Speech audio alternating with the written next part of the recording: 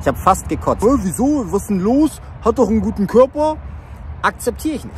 Ich musste anhalten, ich habe mich ins Bett gelegt, mir ist kalt geworden, ich habe eine Decke drüber gemacht, ich hatte Schüttelfrost, weil es ist mein Standard. Das ist doch voll übertrieben, das braucht man doch gar nicht. Ja, ja, das ist dein Standard. Habe ich gedacht, ah, ich würde jetzt gerne liegen bleiben, bla bla. Nein, ich diskutiere nicht mit mir.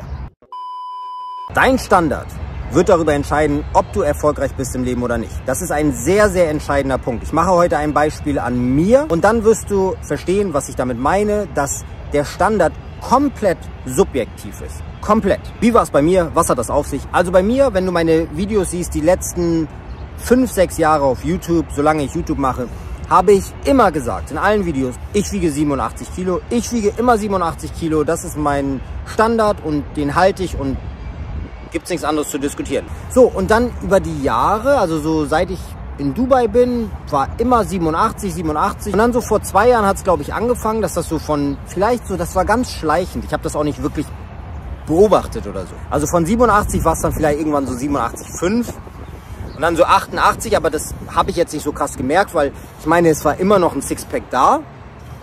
So, und dann habe ich nicht so mega, ja, da mich drum gekümmert. So. Und dann wurde es halt aber ein bisschen mehr so. Dann ist es auf einmal so von 88 auf 88,5 gegangen. Und dann so Anfang des Jahres habe ich gemerkt, oh komisch, ich bin irgendwie ein bisschen schwerer. Jetzt, wenn ich rausgehe, irgendwo an den Strand, dann würde niemand sagen, oh, der hat aber eine schlechte Figur, sondern ja, Sixpack war halt immer noch da. So, und dann äh, ist es dann immer mehr geworden. Und Richtung Mykonos-Urlaub jetzt im Sommer habe ich gemerkt, oh, shit, irgendwie sind es ja jetzt schon irgendwie so 89 Kilo oder 89,5. Da habe ich gedacht, warum wiege ich denn jetzt so viel? Okay, das ist ein bisschen heftig. Aber ich habe gedacht, okay, gehe ich mal nach Mykonos und so. Und auf Mykonos habe ich nicht wirklich gecheatet, dass ich jetzt so irgendwas Ungesundes gegessen habe, aber halt das griechische Essen.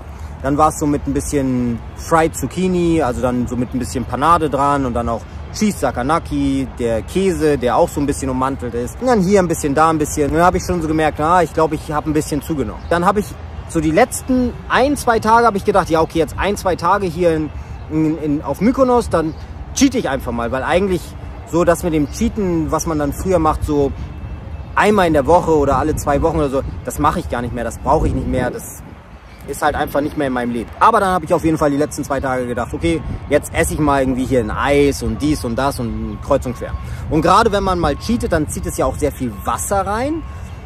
Und dann bin ich zurückgekommen nach Dubai und habe mich auf die Waage gestellt und ich dachte, ich falle hinten rüber. Ich habe 92,8 gewogen. Und da habe ich gesagt, und das ist genau das, was ich jetzt meine, äh, es ist der eigene Standard. Das ist subjektiv. Da habe ich auf jeden Fall gesagt, okay Cecil, definitiv, das akzeptierst du nicht. Ich möchte nicht nur dahin kommen, wo ich vorher war, so bei 87. Ich möchte die Figur haben, meines Lebens und ich möchte das als Standard behalten, weil ich akzeptiere nicht, dass man erahnen kann, dass ich ein Sixpack habe. Ja, ja, 99% da draußen würden sagen, oh, wieso, was ist denn los? Hat doch einen guten Körper. Akzeptiere ich nicht, weil es subjektiv ist. Ich wollte dahin kommen, dass man alles sieht, dass ich kein Fettgewebe habe und das ist mein subjektives Empfinden und das ist genau das Entscheidende. Wenn du jetzt zum Beispiel Elon Musk sagst, ja, hast du Bock, diesen Job anzunehmen? Du kriegst 10.000 Euro im Monat. Da würden wahrscheinlich 90, 95 Prozent der Menschen sagen, ey, 10.000 Euro, das ist doch voll gut.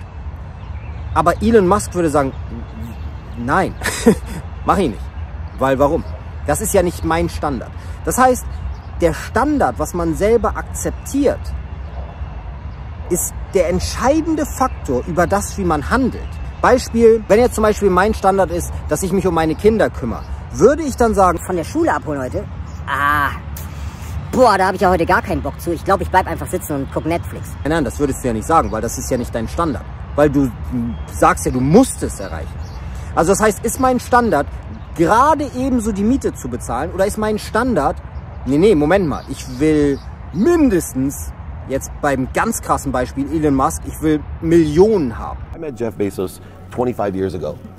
And he told me, Dave, I want you to invest in my company. What are you doing? I'm gonna start a bookstore in my garage. okay, and I'm gonna put it online. People buy buy online, and I'm gonna ship out of my garage.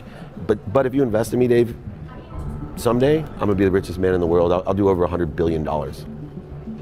First of all, there's no such thing as 100 billion dollars. 25 years ago. Statistically, there's no such thing. Countries didn't have 100. Our national debt wasn't 100 billion dollars. And this dude's telling me at 26 years old that he's going to be the richest man in the world because he has a garage and the internet. That was his truth. No, but he did not. He did not know it, and neither did I. But the difference between him and I is I was laughing, scoffing, and jesting at him, and he was already applauding himself, going, "At the right way, at the perfect time, I'm to make as much as I can as quickly." And I'm sitting there going, "There's no way this is to be a big business." Was ist mein Standard? Und das Entscheidende daran ist, man handelt danach. Das ist es ja. Du kennst die Beispiele vielleicht, wenn du dich in der Persönlichkeitsentwicklung mal so ein bisschen durchgelesen hast, dann kennst du diese Beispiele wahrscheinlich zuhauf. Ein Restaurantbesitzer hat ein Restaurant und macht irgendwie, keine Ahnung, 20.000 Umsatz, 5.000 bleiben netto für ihn übrig. Dann denkt er sich, oh okay, 5000 bleiben übrig, das ist ja voll gut. Dann mache ich jetzt ein zweites Restaurant auf. Dann macht er ein zweites Restaurant auf, weil er denkt, er verdient dann mehr, aber er hat nicht den Mindset, dass er denkt, dass er dann doppelt so viel verdient. Und was dabei rauskommt ist, er verdient immer noch 5000 und das ist einfach nur auf die Hälfte aufgeteilt. Also hier geht der Umsatz runter, hier auf die Hälfte und er verdient immer noch 5000 Euro. Weil er hat nicht seinen Standard oder er hat nicht sein Mindset geändert. Das ist so entscheidend. Wenn ich zum Beispiel den Mindset habe und wie gesagt, es ist subjektiv. Wenn ich sage, ich möchte als Beispiel 100.000 Euro haben. Auf dem Konto möchte ich angelegt haben und das ist mein, mein Standard. Ich, egal was ich mache, ich muss das erreichen. Dann würde ich zum Beispiel nicht akzeptieren, einen Job zu machen, wo ich das sicher, 100% sicher nicht erreichen kann. Wenn ich jetzt zum Beispiel Lagerarbeiter bin oder wenn ich jetzt zum Beispiel an der Kasse irgendwo arbeite, wie lange würde ich brauchen, um 100.000 Euro gespart auf meinem Konto zu haben? Das heißt, diese Person würde dann sagen, nein, das mache ich nicht. Diese Person würde dann vielleicht sagen, ah, ich mache was anderes. Da kann ich das schon mal nicht machen. Da erreiche ich das sicher nicht. Das heißt, ich muss mir was überlegen. Wie, wa, was kann ich machen, damit ich mein Ziel erreiche? Und dann sagt die Person vielleicht, hm, wie wäre es eigentlich, wenn ich versuche, Autos zu verkaufen? Ja, ich mache jetzt einen Job, und dann versuche ich mir 500 Euro beiseite zu tun und dann verkaufe ich mir irgendein günstiges Auto, dann, keine Ahnung, beim Freund lackiere ich das für 100 Euro, dann verkaufe ich das für 1000. Und dann nehme ich die 1000 und kaufe irgendein Auto für 1000 Euro. Und dann versuche ich es wieder ein bisschen schick zu machen. Vielleicht habe ich einen Freund, der arbeitet als Kfz-Mechaniker oder ich selber. Und dann mache ich das so ein bisschen schick und lasse es gut laufen und dann verkaufe ich es für 1500. Und dann verkaufe ich ein Auto für 1500. Das heißt, die Person wird irgendwie eine Möglichkeit finden und es gibt nicht nur die Möglichkeit, Autos zu verkaufen, sondern vielleicht macht er dann Affiliate Marketing. Vielleicht sagt er, alles klar, ich will jetzt Affiliate Marketing machen, weil ich verkaufe jetzt ein Produkt. Ich empfehle jetzt ein Produkt zum Beispiel von Coach Cecil und kriege dafür 30% Provision, ohne dass ich das Produkt selber erstellt habe. Ich gehe auf Facebook-Seiten, ich schreibe jeden Tag 200 Leute an. Egal wie, ich will die Provision haben, ich will das pushen. Ich schreibe jeden Tag mit 200 Leuten nebenbei damit ich dann jedes Mal 30% Provision bekomme, als Beispiel. Und dann verdient die Person nebenbei. Das heißt, was mein Standard ist, ist komplett subjektiv, was ich erreichen will. Für mich ist mein Standard, ich akzeptiere nicht, dass ich mit, oh, ich glaube, der hat ein Sixpack, irgendwie da schwabbelt aber noch ein bisschen was. Ich akzeptiere das nicht mehr.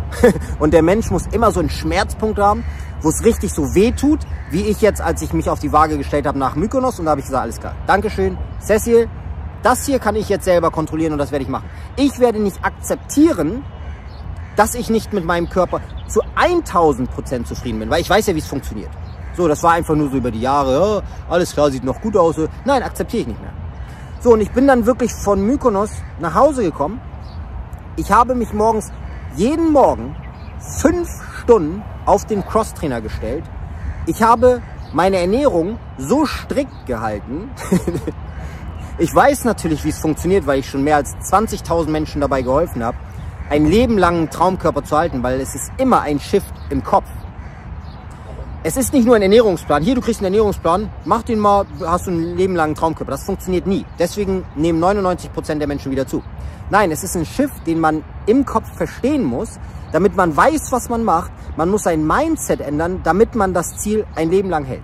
So, ich habe ein Leben lang 87 Kilo, dann bin ich hoch, dann habe ich gemerkt, oh, Moment mal, 87 ist nicht mehr mein Standard. Mein Standard ist 82.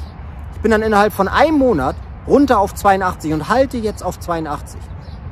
Und ich werde da halten, weil ich will diese Figur. Ich fühle fühl mich damit besser.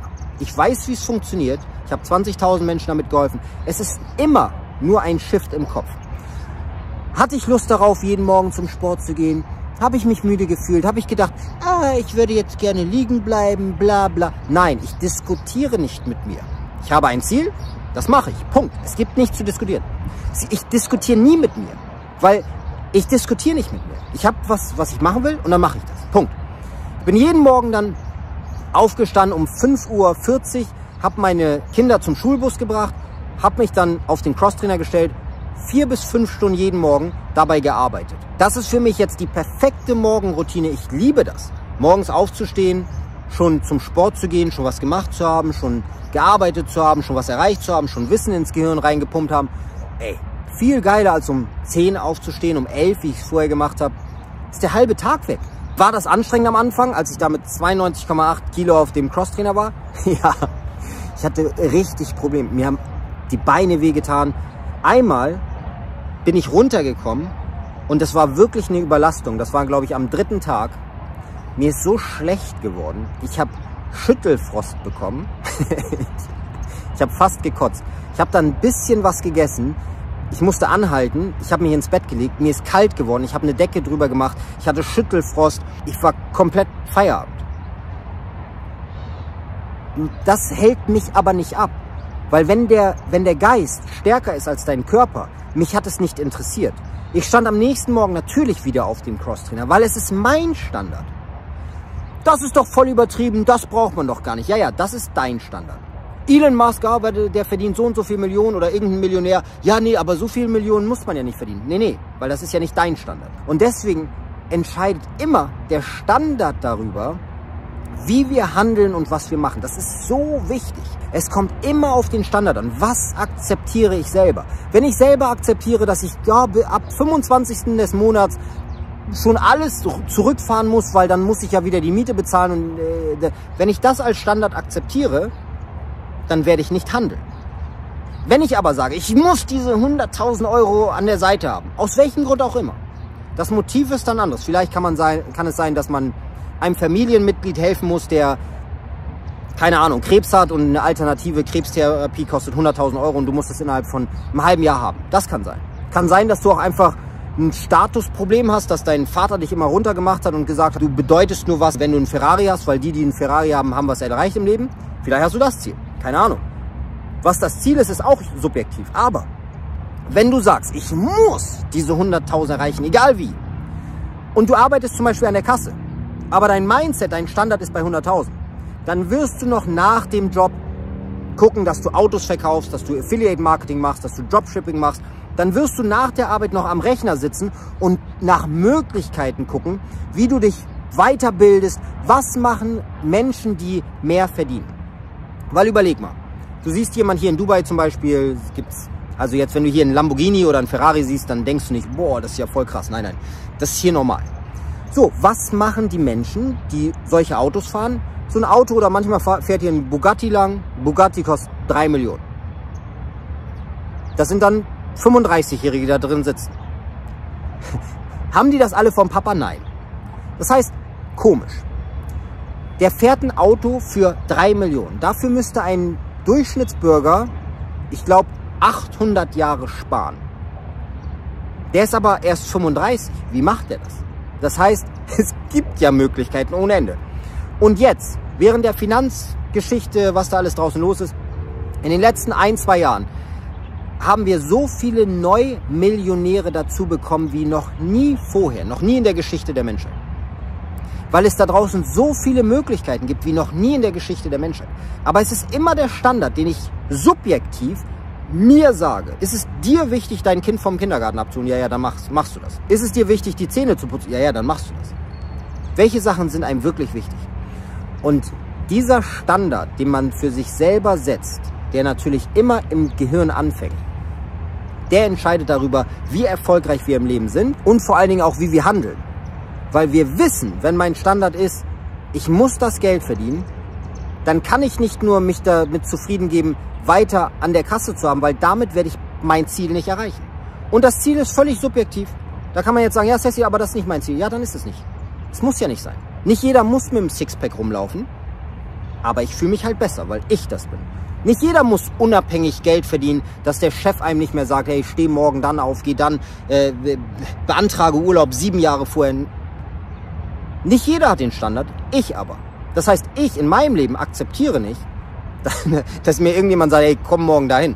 Nein, nein, ich habe keinen Termin in meinem Leben. Deswegen kann ich selber entscheiden, gehe ich morgens um fünf zum Sport oder wache ich um zwölf auf, um, um eins oder so. Na, aber ich fühle mich besser, wenn ich um fünf aufstehe und beim Sport bin morgens.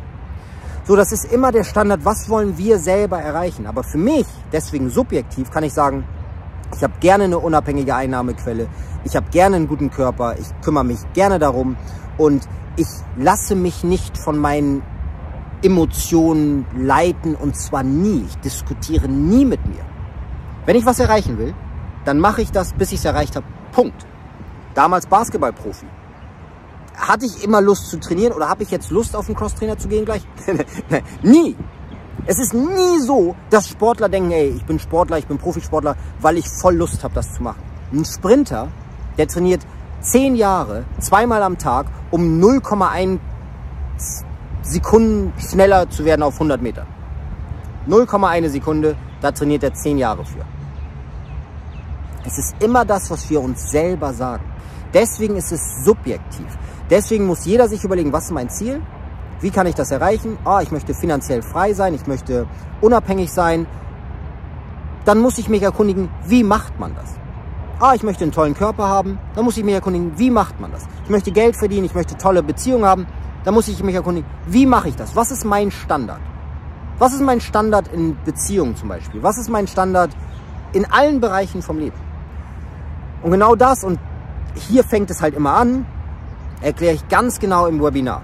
Da erkläre ich fünf Punkte, wie man auf keinen Fall, wenn man nur einen Punkt von denen hat, kann man sich nicht befreien. Dann kann man niemals frei sein und ein unabhängiges Leben führen. Aber wenn man die fünf Punkte beachtet und deswegen sprießen die Millionäre da draußen aus dem Boden wie nie zuvor, weil wir so krasse Möglichkeiten haben wie nie zuvor, wenn man diese fünf Punkte beachtet, dann kann man sich komplett abkoppeln. So, und deswegen ist es so wichtig, dass du dir das Video anguckst. Und am Ende des Webinars wirst du sicher verstehen, was ich meine. Sicher. Und du wirst sicher sagen, ah, okay, wenn ich den Punkt nicht beachte, okay, du hast recht, dann kann man sich nicht befreien. Das wirst du dann wissen und genau, das war es erstmal für dieses Video. Der Standard, den man sich selber setzt, das ist elementar wichtig. Das ist heute so ein wichtiges Video gewesen. Teil das gerne, like das Video gerne, guck dir das Webinar an. Das war's erstmal für heute. Bis dann, euer Coach Cecil. The Matrix is everywhere. It is all around us. You can see it when you look out your window or when you turn on your television. You can feel it when you go to work, when you pay your taxes. It is the world that has been pulled over your eyes to blind you from the truth. What truth? That you are a slave, Neo.